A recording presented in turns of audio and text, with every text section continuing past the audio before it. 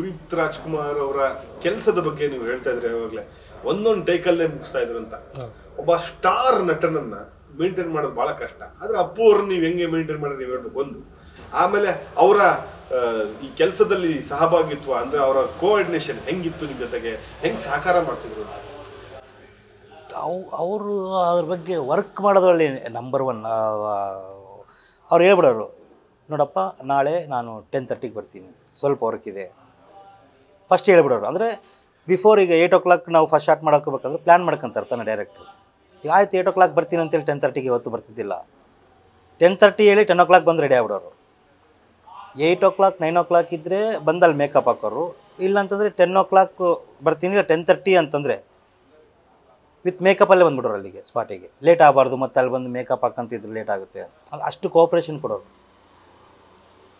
ಏನಿದ್ರು ನಾವು ಶೆಡ್ಯೂಲ್ ಹಾಕಿದಾಗೆ ಹೇಳ್ಬಿಡ್ತಾರೆ. ಈಗ ನೆಕ್ಸ್ಟ್ ಒಂದು ಟೆನ್ ಡೇಸ್ ಶೆಡ್ಯೂಲ್ ಹಾಕಬೇಕು.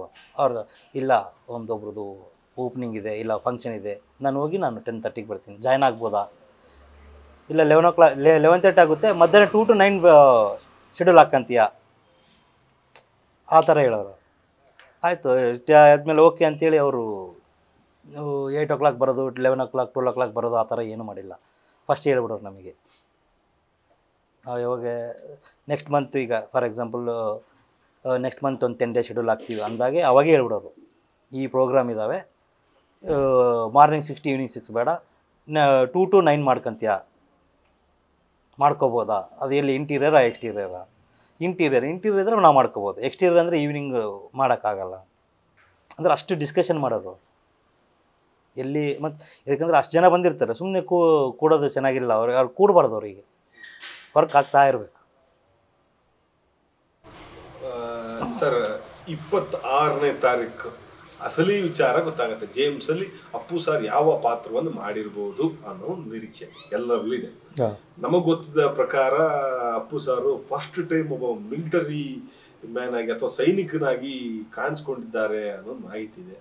ಆ ವಿಚಾರ ಬಗ್ಗೆ ಅದ್ ನೀವು ನೋಡ್ತೀರಲ್ಲ ಟ್ವೆಂಟಿ ಸಿಕ್ಸ್ ಭಾಳ ದೂರ ಇಲ್ಲ.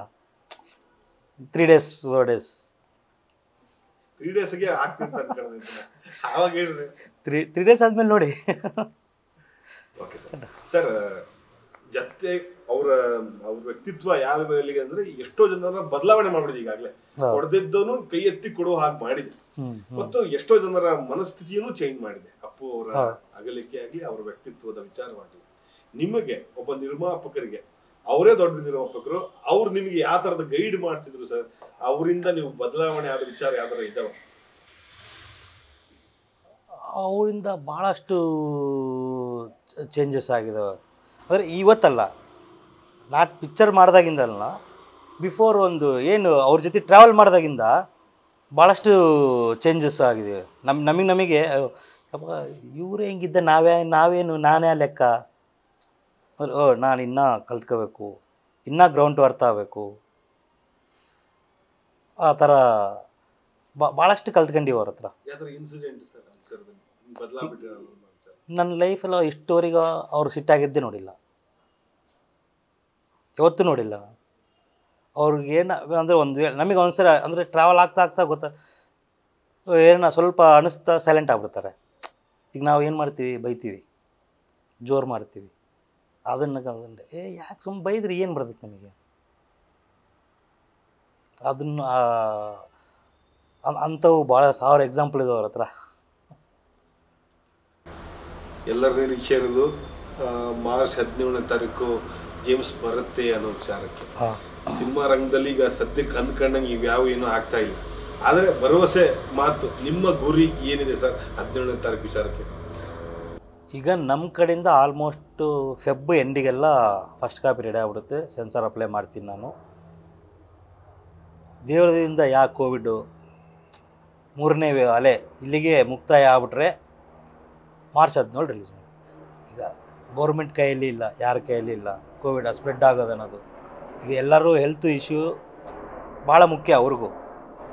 ಎಲ್ಲರಿಗೂ ಅವ್ರವ್ರ ಹೆಲ್ತು ಚೆನ್ನಾಗಿರ್ಬೇಕಂತೇಳಿ. ಮತ್ತು ಎಲ್ಲ ಚೆನ್ನಾಗಿತ್ತು ಹಂಡ್ರೆಡ್ ಪರ್ಸೆಂಟ್ ಆಯಿತು ಥಿಯೇಟ್ರ್ ಕಲ್ ಅಂತಂದರೆ ಸೆವೆಂಟೀನ್ತ್ ರಿಲೀಸ್ ಮಾಡ್ತೀವಿ ಪಕ್ಕಾ ರಿಲೀಸ್ ಮಾಡ್ತೀವಿ ನ್ಯೂಸ್ ಫಸ್ಟ್ ಪ್ರತಿಕ್ಷಣ ನಿಮ್ಮೊಂದಿಗೆ.